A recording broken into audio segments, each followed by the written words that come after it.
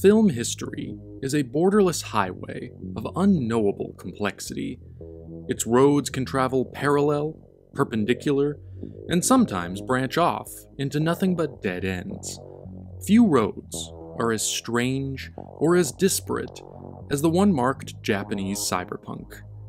Famed for their aggression and extremity, these movies, not quite horror, not quite sci fi, and fully distinct from the traditions of both Western cyberpunk and even most of the cyberpunk pioneered in anime and manga, continue to perplex and horrify viewers in rather visionary and abstruse ways. It's a form that probably comes the closest to rendering cinema as an experience of pure visceral assault, communicating idea and feeling through raw image and sound. The films often feel amateurish, haphazard, yet they display an irregular technical mastery that is staggering in its elaborateness. Directors forego logic and story in favor of the overwhelming power of the moment, a surrender to subconscious and sheer primal emotion. The movement was shockingly small and brief, made up of only a passing handful of true entries. It developed obliquely through a few opaque links between odd, unconventional films by unlikely, self actuated artists. The only purpose behind it seemed a common disdain for the orthodox rules of filmmaking and a shared desire for unfiltered self expression. Incredibly, it was never planned or premeditated. There was no manifesto to declare it, no guidebook to show anyone how to do it. As the films found their way out, a movement seemed the only way of explaining their existence. In a way, there was no movement, only a very fortunate series of accidents. Burst City is generally agreed to be the official starting point of the genre. It is a wondrous anomaly in Japanese cinema, a testament to the things that can sometimes happen when the right people are in the right place at the right time. The director was Sogo Ishii, a musician slash filmmaker who leapt into making movies as a teenager. Developing a unique style of wild energy and bombastic visuals, Ishii released his first feature at the age of 21, and only two years later, when he put out his second film, the university graduate project Crazy Thunder Road, distributors at Toei, a major studio, took notice and bought the film for theatrical release. This was something previously unheard of in Japanese cinema. In the late 70s and early 80s, the Japanese film industry was in a period of tremendous crisis and transition. Ticket sales were steadily plummeting at the box office. Studios were producing fewer films each year, and most of the big companies were closing down. The studios that managed to stick around were those that lucked upon a convenient survival method. Toho rallied behind Godzilla, Nikkatsu turned to softcore porn, and some recruited the help of outsiders. When Crazy Thunder Road turned a profit, Toei concluded that Ishii must be a valuable attraction for the youth market, so they basically handed him 50 million yen or about $500,000, and told him to make whatever he wanted.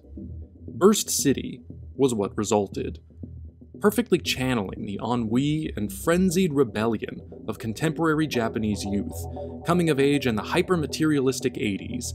Burst City revolves around a semi futuristic community of punk rockers, bikers, gangs, and drag racers who band together to fight the police and the Yakuza trying to turn their junkyard haven into a property development. The punk movement was just then erupting across Japan, and Ishii, a punk rocker himself, populated the cast with real life fellow punks, culled from a few of the most popular bands of the era. The plot, by choice, is only a thin pretense for Ishii to document the look, the sound, and the attitude of this angry electric time in Japanese culture. The runtime is padded with several raucous music performances, captured with turbulent, impulsively mobile handheld cameras, an attempt to translate the dizzying rush of live punk music into a new cinematic grammar. The cyberpunk influence is more a side effect of that effort. Ishii's film does not share many of the thematic concerns of later cyberpunk movies. Aesthetically, however, it laid the groundwork. In a quote reprinted in a Mark Player essay included with Arrow Video's amazing new Blu ray release, Ishii explains that his directing style in those days was indifferent to plot or logic. What he wanted to show was the intensity of moments above all. This quote is helpful in deciphering the sometimes cryptic storytelling of Burst City, but it might as well be describing Japanese cyberpunk itself.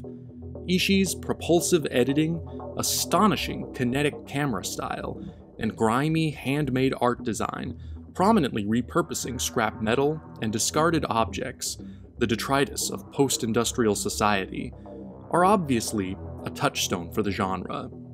That striking art direction is especially noteworthy, largely the work of Shigeru Izumiya, a prolific folk rock legend who also co stars as a main character in the film.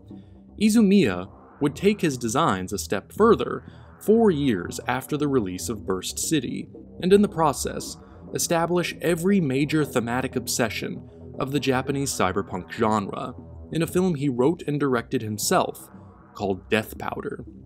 Produced for the booming video market that was the latest craze in Japan, Death Powder follows two mercenaries who break into an underground facility and discover an android capable of producing a mind altering powder. When inhaled, this powder causes hallucinations, mutations of the flesh, and potentially frees the minds of its victims from the confines of the body. Even more so than Burst City, Death Powder abandons conventional plotting in favor of abstract imagery and Lynchian soundscape.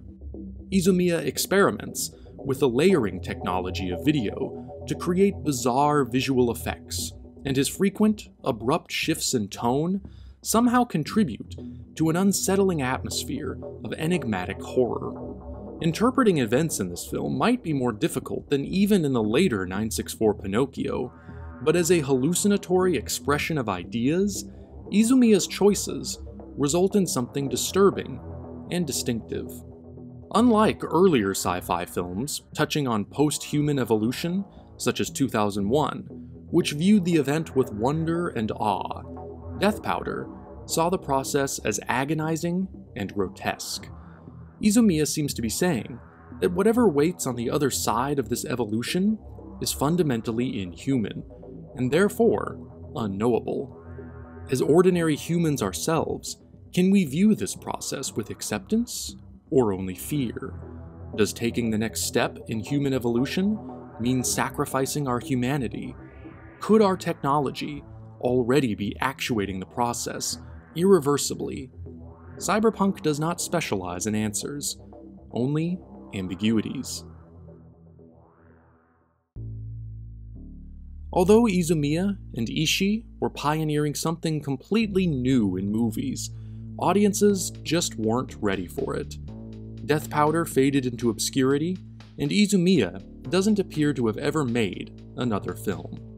Burst City was a financial failure, and Ishii mostly left Cyberpunk behind, moving into other avenues like concert videos and experimental dramas. In 2000, he released an historical action epic called Gojoe, then made a brief return to the aesthetic territory of Burst City, with great, underrated gems like Electric Dragon 80,000 Volts and Dead End Run, before changing his name in 2010 to Gakuryu Ishii and evolving his style in other directions. Japanese cyberpunk appeared dead before its time, but appropriately enough, death was not the end. The singular achievements of Ishii and Izumiya would find second life. Fresh ground had opened up for later directors to till and harvest, Death Powder might have been the first real breath of the genre, but Burst City, in its ambition and visibility, would become the beacon, signaling what a young director could achieve when they just went out and did whatever it is they wanted to do. Subsequent filmmakers would follow this philosophy in spirit, if not precisely in form.